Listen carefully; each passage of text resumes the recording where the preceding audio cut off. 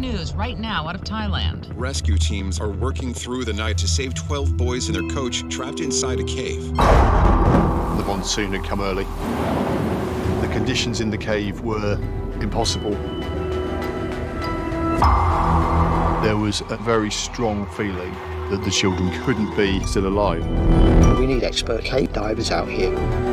The Thai Navy SEALs put everything they had into it, but only this group of people who do it as a weekend hobby has those skills. I was thinking this this has actually got our name all over it. You couldn't see your hand in front of your face. Trying to wriggle through holes that I couldn't wriggle through, finding a bigger space, sliding through, and then repeating again and again.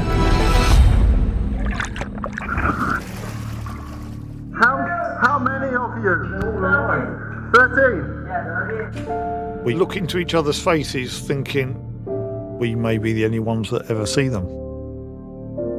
Finding the boys was the easy part. They didn't have a clue how to get those kids up.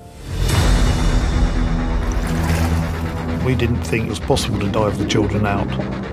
We came up with the actual logistical plan. I told him that's a horrible idea. And then Rick said, What if it's the only idea?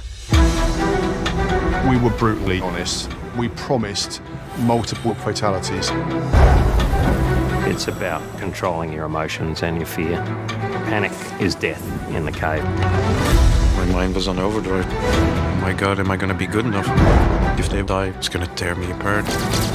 If you don't die, everyone will die. I told the guys this is a one way trip. Once you start, you cannot stop. Believe.